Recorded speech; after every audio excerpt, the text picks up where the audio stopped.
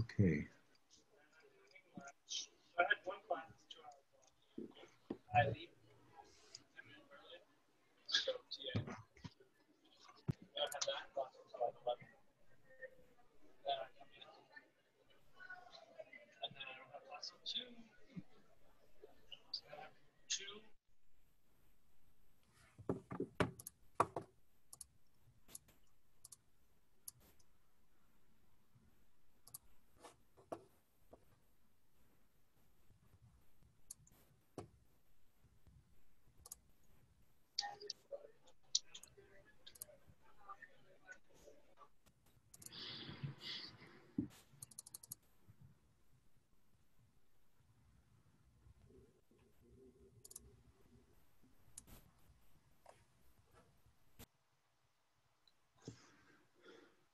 Okay, let's go ahead and get started. Um, how's everybody doing? It's been quite an adventure for me trying to teach my classes this semester. I never, I never quite know what's going to work and what's not going to work. Um, okay, is there any any questions that anybody had on uh, the course itself, content? Yeah, Dr. Ma- uh, Dr. Scott, I had a question about homework, at least for us at Yes. BYU. Yes. Um, is there a format that we should be doing those, and is there a way we should be turning them in at next Monday? Yeah, so what I'm gonna, they just need to be neat enough that the graders can follow easily what, what you're trying to say. Um, and of course, as, as is the case with any homework problem, your job is to convince the reader that you have solved the problem. What I'm gonna do is I'm gonna go into Learning Suite and add an, ass- a couple of assignments and you can go ahead and scan and just upload those to Learning Suite. Perfect. And then the homework, so are those assignments going to be on Learning Suite, or are they the exercises at the end of the notes on the wiki? They are always going to be the exercises at the end of each wiki section. Okay, perfect. So in this case, there's 11 problems. Awesome. Okay, thank you. Yep. Dr. Scott, I have a quick question. Um, for the textbook, is that still like, um, I guess, recommended to read? And if so, like, are the corresponding sections with what we're going over in class that's on the wiki and stuff? So the textbook is by Tom Hughes, and I would say at this at, at for this course, I would view it more as a reference than a a, a text that we're following. Okay. be- if you if there's a concept you run into and you want a little more information, you probably can find it in that book. Thank you.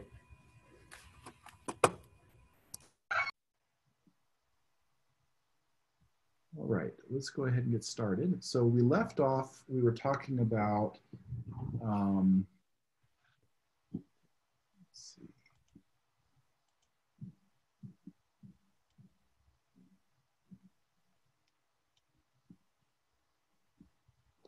We were talking about energy,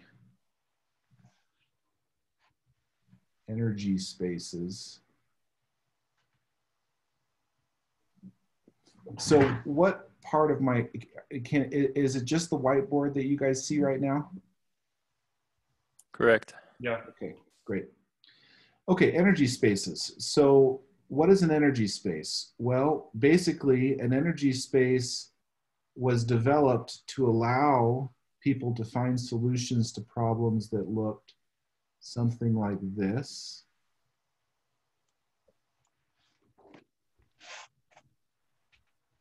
Okay, so the question then is, what is you? And for a long time, it was assumed that they were just classical functions, you know, continuously differentiable, um, you know, things that, that you could apply standard uh, integral and differentiable calculus to. But then it turned out that there were a lot of problems where this wasn't the case, and so more gen- generic or general ideas needed to be um, developed to model these functions. Okay, and so let's define now what we call um, Hilbert or more specifically Sobolev spaces.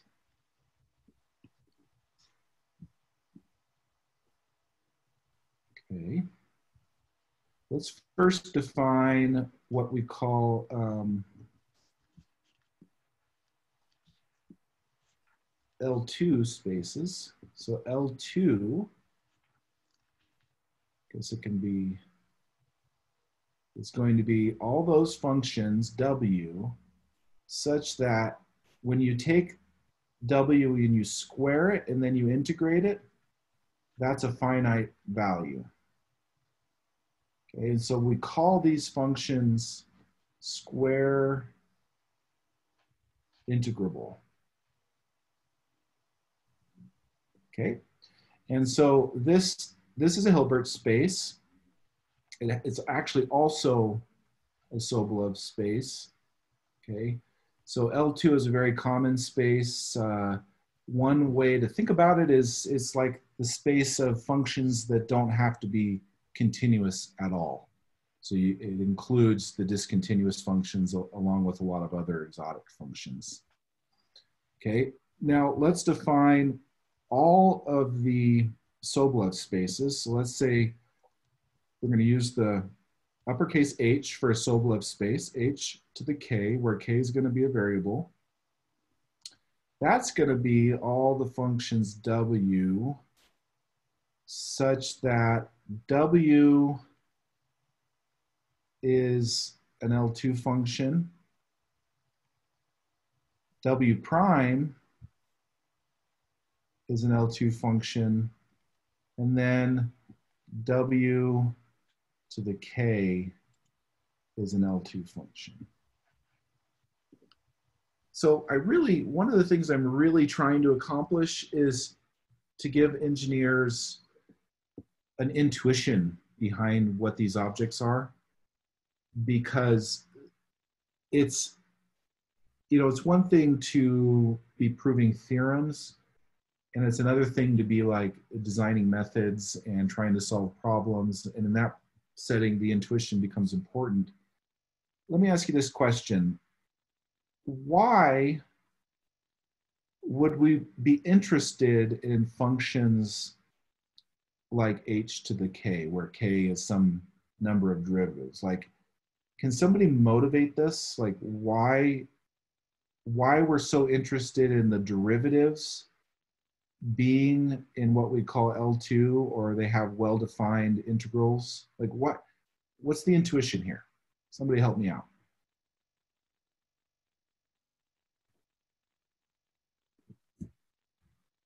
integrable functions have uh, complete metric spaces, so we'll be able to know how close things are together.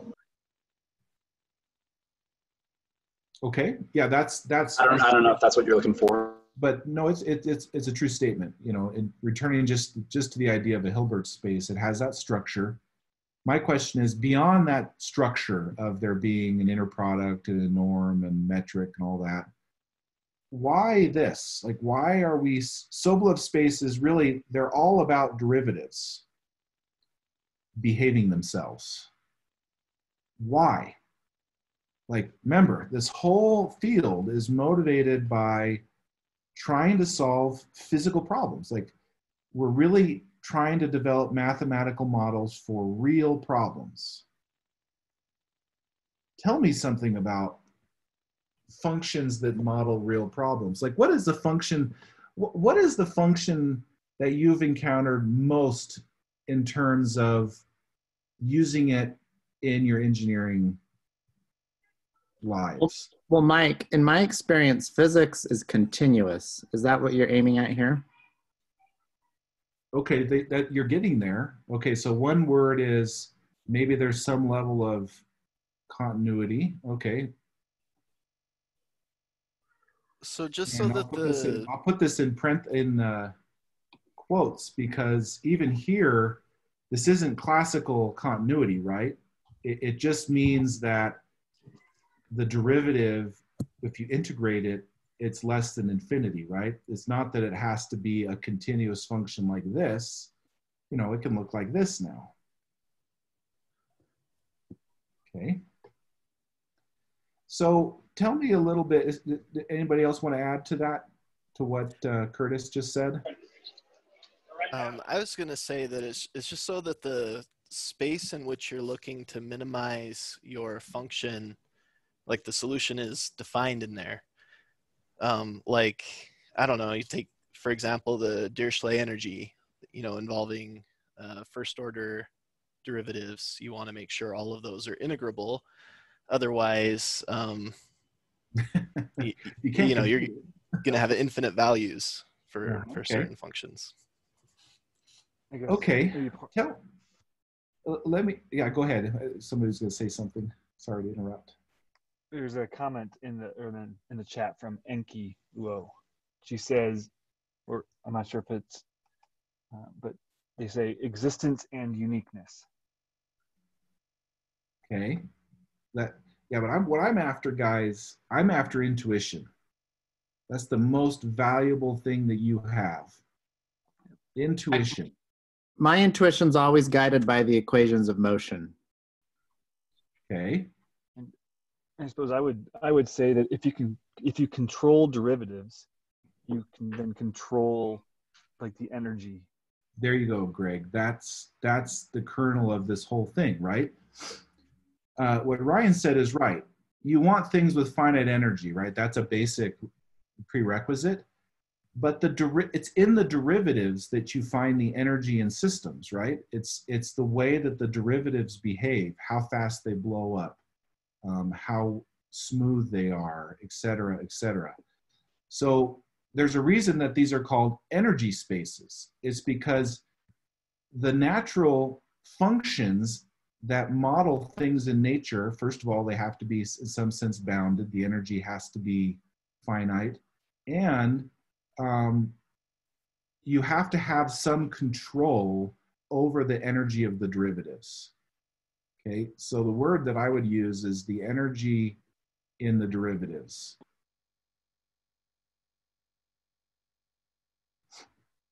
And so this is a really critical idea that really, if you develop a strong intuition about this, these spaces begin to become less mysterious as far as why we're using them.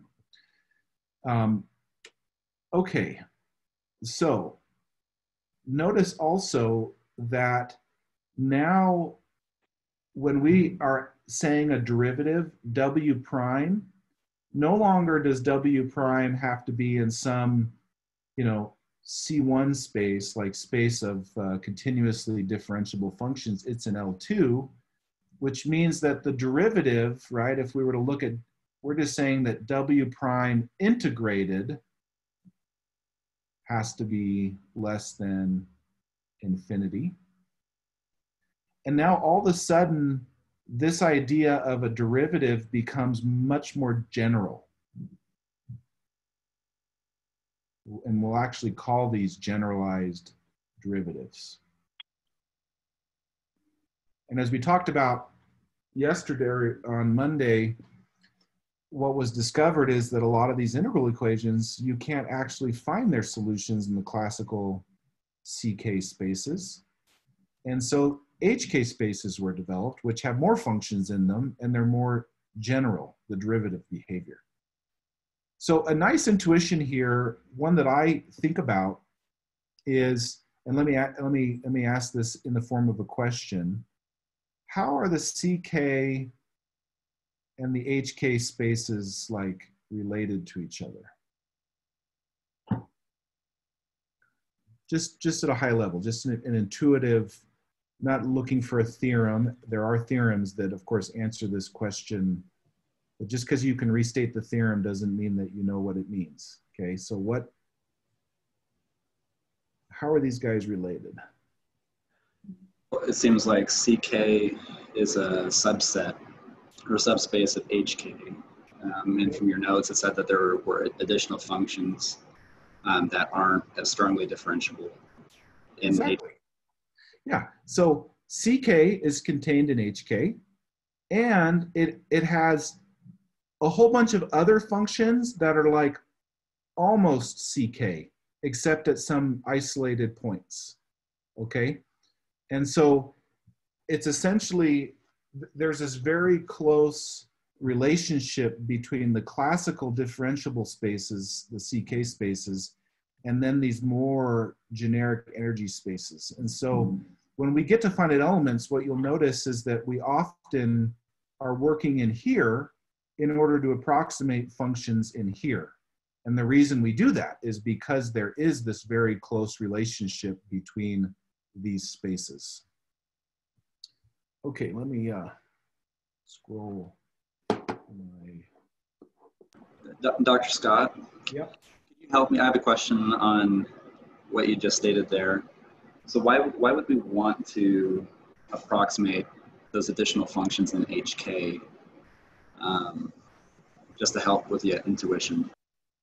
Uh, What, what's their what's their importance with finite elements? Because we're Okay. working in CK because we can, but then we want to get these additional functions from HK. Well, yeah, in finite elements, it's all about computing functions that are, you want to deal with functions that are easy to compute. And so that's why we live in, we tend to work in CK because it's very easy to generate a space of CK functions for a very generic geometry. And we also know that an infinite sequence of, you can, you can approximate any function with enough polynomials. Right. And so um, that's kind of the idea, right? And so you just generate these larger and larger polynomial spaces, and you begin to be able to approximate very well uh, functions in these more general Sobolev spaces. So we, we, we don't really know how necessarily to discretize directly HK, right? But we do understand how to discretize uh, what we call splines, right? In the context of a spline method, like the finite element method. Mike, Did can I ask a was that question? question or did I miss it? So I, I understand that we can work in CK space and we can approximate HK, but um, I guess application wise, what are those functions in HK um, either look like or I guess why do we want to approximate those certain functions in HK when Oh. we can Oh yeah, it's because boundary value problems, their solutions live in H in the in the in the H spaces. that's right That that's that's the fundamental thing is that that's where the boundary value problem solutions naturally live is in the H in the Sobolev spaces. It's like a step function or a delta function would be a Yeah. good example. Yep. Yep. Right. Yeah. thank you That- thank that's you great. That's that's how you tie that back to that. It's like it's just the mathematics has indicated as they've studied boundary value problems that these solutions they they live in these more generic spaces. Uh, and so analytically, it's nice to know that, but then from a numerical point of view, we don't really know how to discretize HK directly, and so we do it by means of polynomials, usually speaking. Does that answer your question, Ian? yes sir thank you Okay.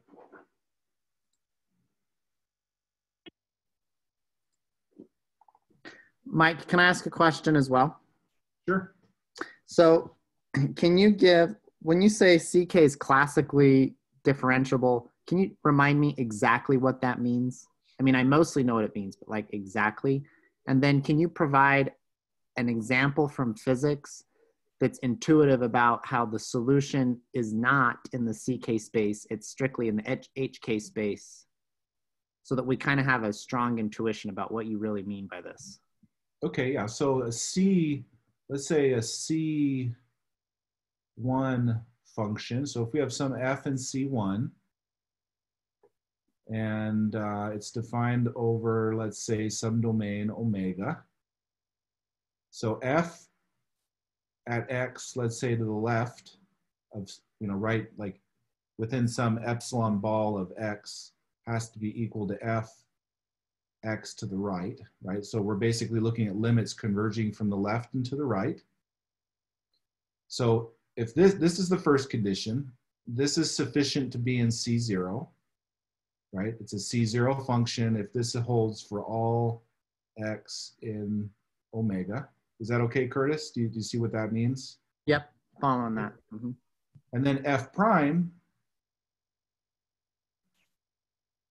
f prime x to the right, this is C1. Okay, so to be a C1 function, you have to be a C0 function, uh, and you have to have this uh, second condition on the derivatives. And so we, we, if this holds, we say that this function is continuously differentiable.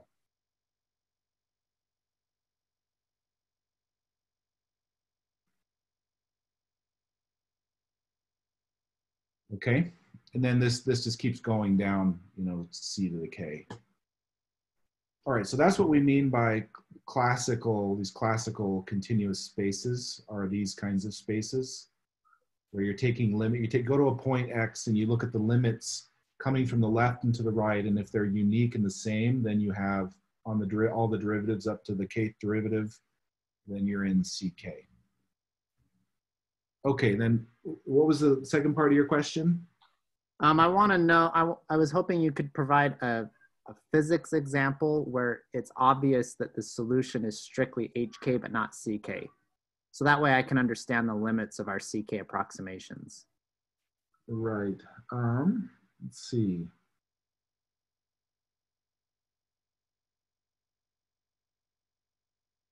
Let's see. That's a good question. An example of a a, a point load on a beam. Yes, Kyle, that's a good one. So like so a wire. Let's say you have a beam. Let's say you have a beam. And you have some load P at a point. Right? So the, this the solution to this is not a classically differentiable function.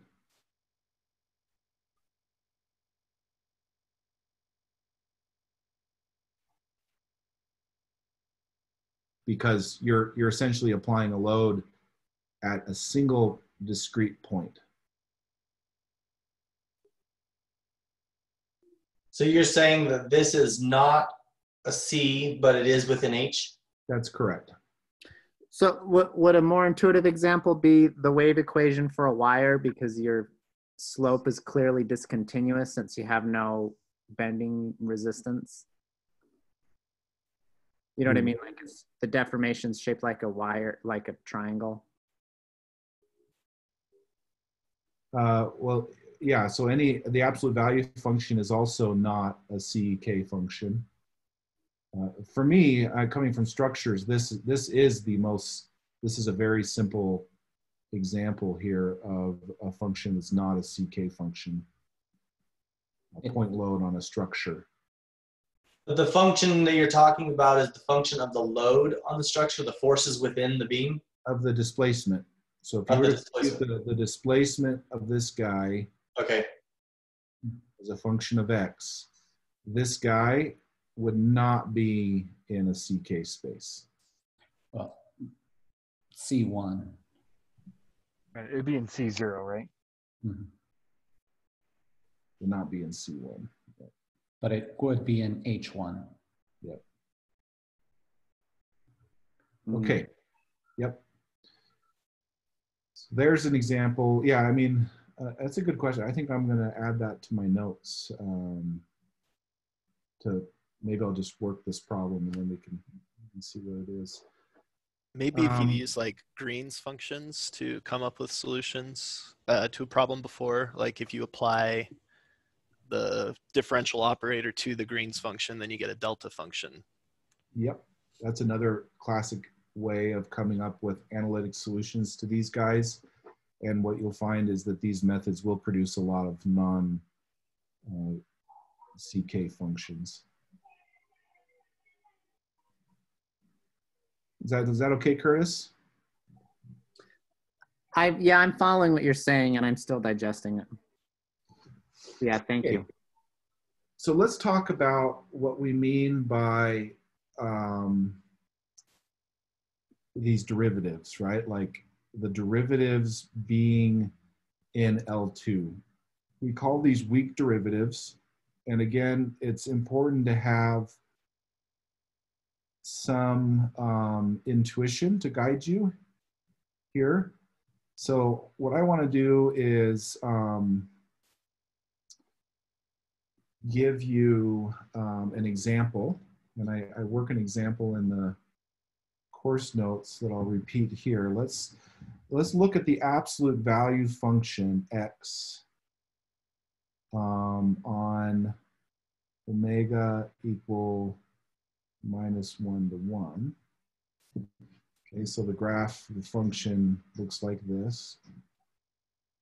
And then we want to uh, show that this guy is not in C1.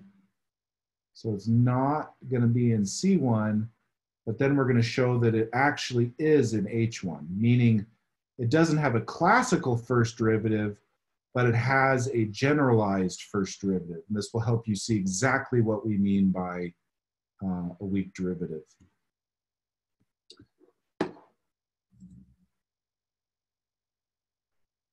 Okay, so um, let me clear this here.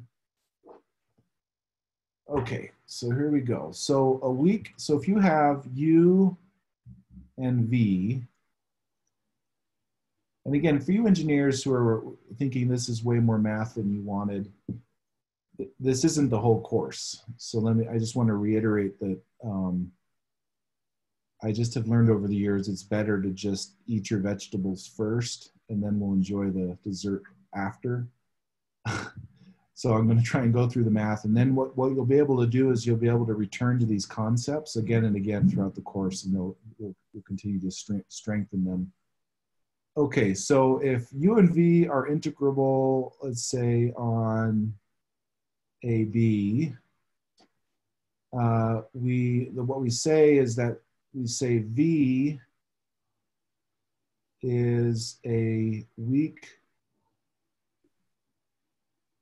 derivative. Oops,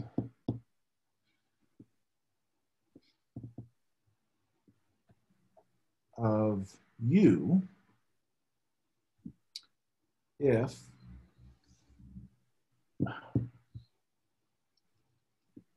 the integral from AB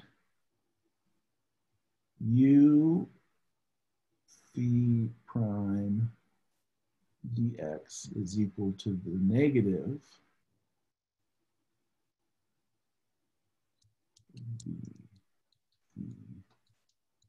dx for all um, phi in C infinity phi at A equal phi at B equal to zero.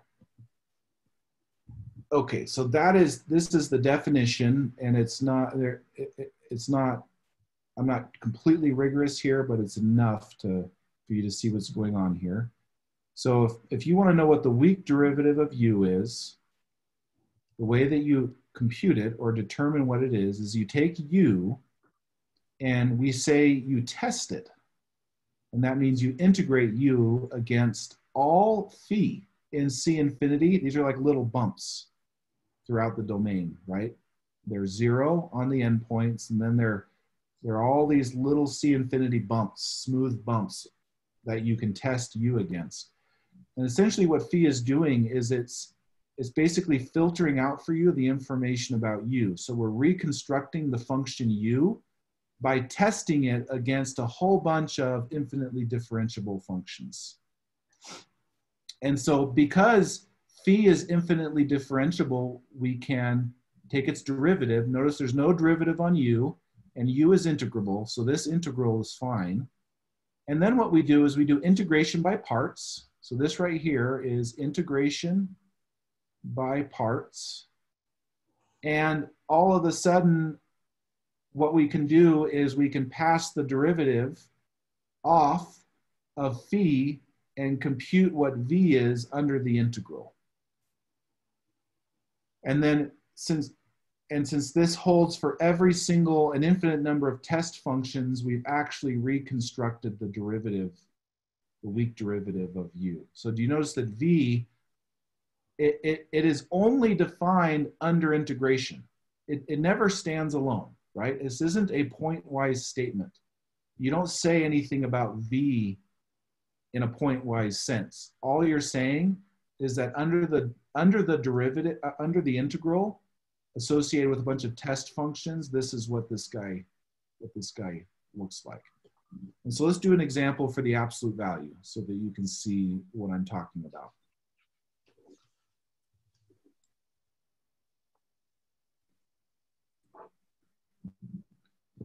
All right, so let's look at u equal to the absolute value of x on minus one to one, okay? So let's take this derivative now. So, or this integral, we got minus one to one, u phi prime dx. Okay, this, this integral is well defined. Now let's do integration by parts. Let's first insert the definition of the absolute value into u, which gives us minus 1 to 0 of minus x b prime dx plus 0 to 1 x b prime dx. Now we do integration by parts on each of these integrals.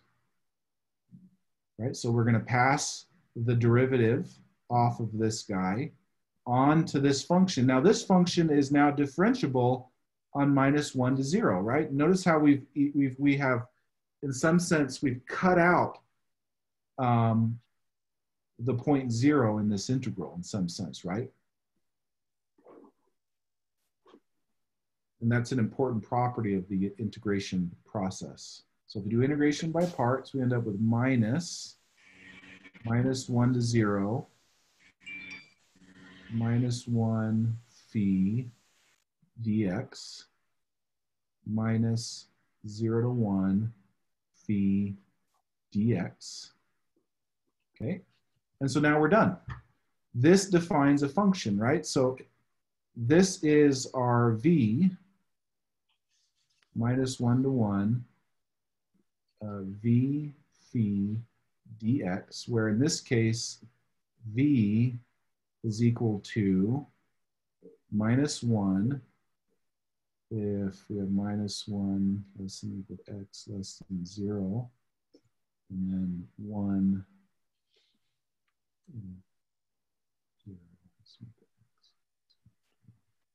Okay, so this function v clearly is not a C1 function, right? I mean, uh, U is clearly not a C1 function, so it doesn't have a classical first derivative, but it does have a weak derivative, and the weak derivative is the function, it's just the classic step function, right? So it's minus one plus one. And so this function v here, because it does have a weak derivative, therefore its its derivative is an L2, and so it's an H1. So this guy is an H1.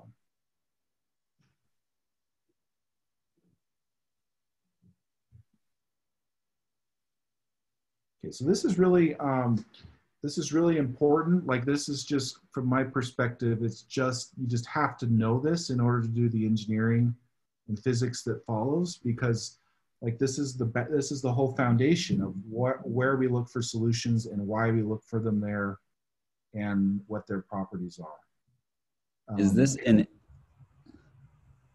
go question. ahead yep. is this an h1 because they meet at zero or if they didn't meet at zero would it still be an h1 so what this means the way that to interpret this is that this function do you see how cl- how close is this function to being c1 can somebody tell me? It's made up of two C1 functions. Yeah. So it's C1 except at zero, right? Yeah. And so the integration procedure, it's called Lebesgue integration.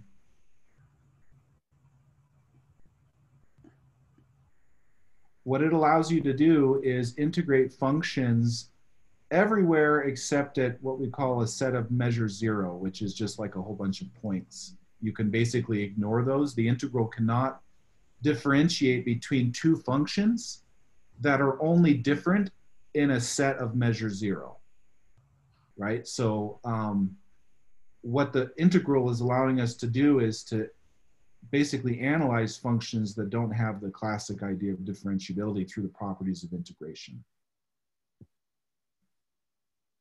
And so this function, again, remember that I said there's this nice kind of conceptual linking between the CK and the HK spaces. This tells you, this kind of helps you see how close they are, right? So this function is in H1, not in C1, but boy, it's really close to being C1. It's just not C1 on a set of measure zero. So this is the important, like the important point here. And there are a lot of solutions to problems that are going to look like the absolute value function, right? Or have those kinds of discontinuities at certain points.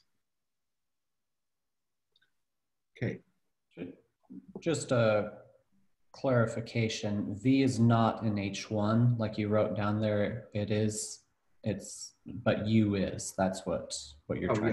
Yeah, yeah, yeah. V is just its derivative. Uh, U, so what we've shown is that U prime is equal to V and it's actually in L2. That's the right way to say that. So U prime is in L2, U itself is in H1.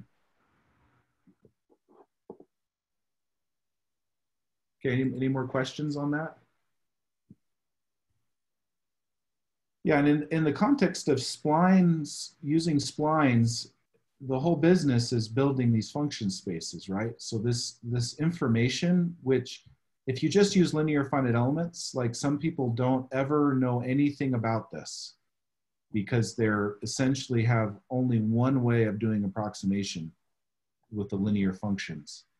With splines, we have this huge new, like this whole frontier of spaces. And so understanding this information becomes critical. Okay, so let's talk about now just some properties of the Sobolev spaces. I've already said that CK is contained in HK. We also have that HK plus 1 is contained in HK. Okay, so there's less functions, right, in these higher K spaces than there are in the lower K HK spaces. And now the, the question is, we have this, notice that we can say that CK is an HK, but now the question becomes, when is HK contained in some C R space for some R? Let's say R not equal to K. So here's a question. And what does your intuition tell you here? Like, if if CK is really, really, really close to HK in some sense, then what do we think about CK minus one? What's its relationship to HK? What would you think? Would it be HK minus one? What, what's the relationship, for example, to um, between HK and not CK, but CK to the minus one? Right, so this, this guy is like that, right? That HK should always exist for CK to the minus one. This is what your intuition would kind of guide you to say, right? Well, if HK is really close to CK and CK to the minus one is bigger than CK, maybe we have hope that HK is actually in CK to the minus one, right? So maybe H1 functions are actually C0 functions. That seems reasonable, right? Notice that the absolute value function, is it a C0 function? Yes it is a C0 function. So at least for one function, we know that this is true. And so th this is a very, very important like idea. And it's made precise through what are called the Sobolev embedding theorems. And it's really answering this question of, you know, like how big of a CK space do I need in order for an HK space to live inside of it? That's essentially what what it's trying to the, the question that it's trying to answer. Why would this be a nice? Why would this be an interesting question from the standpoint of finite elements?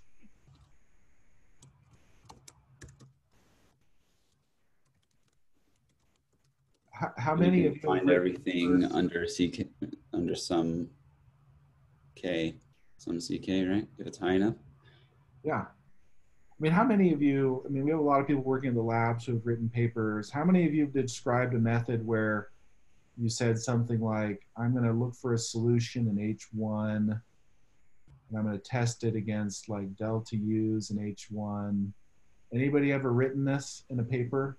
And then you describe your method? And then what kind of finite elements do you use in order to find the solution? What space are they usually in?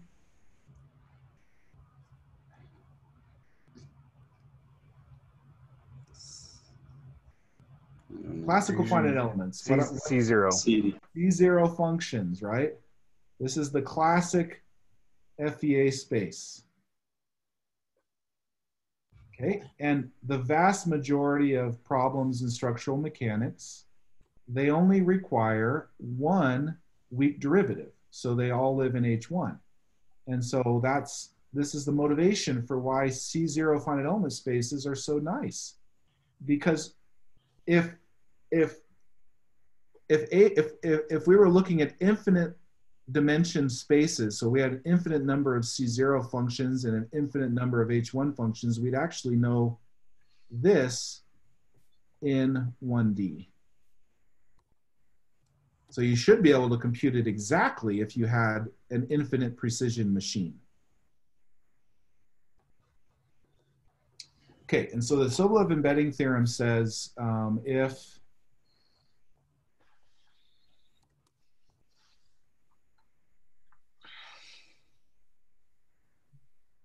omega is an open set in R to the N and S is greater than N over 2 plus K is really the floor, then H to the S is in CK. And B, this is just a, this just means bounded.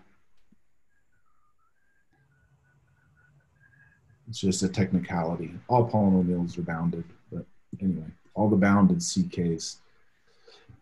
So if if if we're in R1, if n is equal to one, what do we know from this formula?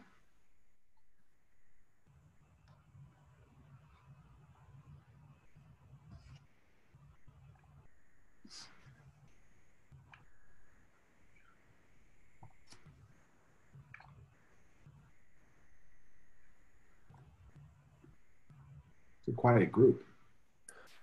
Sorry, I'm just having trouble. Where does the, where does the n come into play? Is that just any integer? Yeah, so n here is the dimension of the space. R1, R2, R3, R4, R5.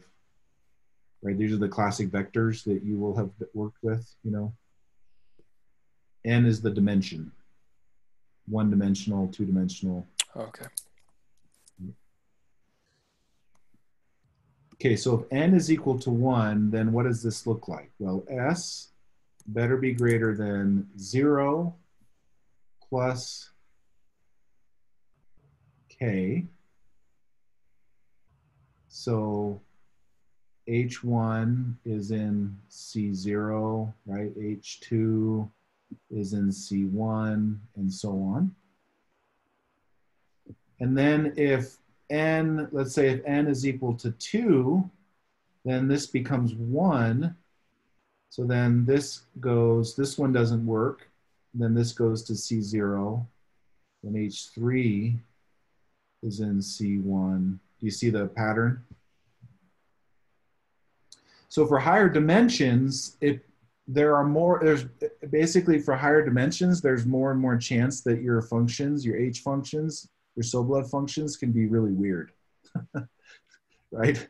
So like in 1d there's not a lot of chance that things can go haywire but in 2 and 3d things can get really weird. We can construct really strange functions and so the embedding becomes weaker and weaker.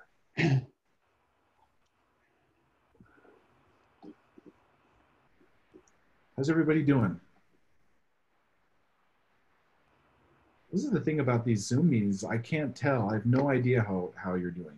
In terms of the nomenclature that you're using, the R, we've used that for real numbers. What are you using it for this time? This guy. R to the N. Yeah, this is real numbers. Real numbers. So these are, so if n is equal to 1, that's just the real line, right? R. If R, if we have R2, then it's like everything on the page, right? X, Okay. Y, that's R2. So often in this case containing vectors. Yep, just vectors. X, Y, Z is R3. Right, so it's like geometries in, uh, so in R3, it's like all geometries in the physical world, right? We live in R3. Is that okay? Yep. Any other So questions?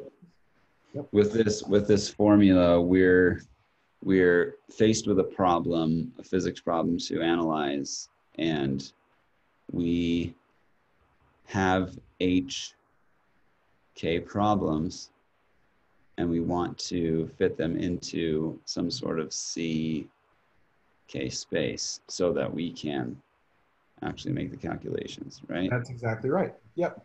So before you even pick a finite element mesh or a discretization, the very first question that you should answer is, what Sobolev space does, does my solution, should it live in? Like if I look at the integral statement that I'm trying to solve, where is the natural place? What is the HK space? And then that should tell you the minimum CK space, right?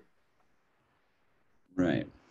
Um, but remember, there's a caveat here that that the Sobolev spaces are infinite dimensional. So to get an exact, you know, an exact representation in a CK space, you would need an infinite number of those functions.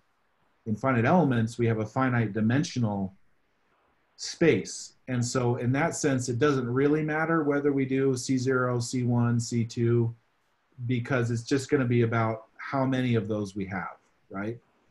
But it, it should tell you like, if you have an H1, uh, if, if you have an H1 space, like a C0 finite element mesh is a reasonable place to begin. Although we'll find in finite dimensions, it may actually be better to do C1 or C2. So the, the, the K value we're getting is the minimum we need. Yeah. Yeah. Okay. But higher order are going to be possibly more accurate. That's right. For a given number of functions that we have, there may be reasons to use um, more functions that are smoother. Smooth means higher K. Yep. Okay. Okay, so th- this is like the whole foundation of numerical methods, like of like the finite element method. It- this is like the. This is really the a much more powerful way to think about what we're doing than maybe just thinking about nodal finite elements or and so for the engineers who are taking this class uh, and especially if you're doing it for credit uh, it's not something to get discouraged about. I have no expectation that you're going to have a really nice understanding of these concepts in the first week of the class. But as the class progresses and we do practical problems in the context of these mathematical ideas, you'll be able to return to them again and again.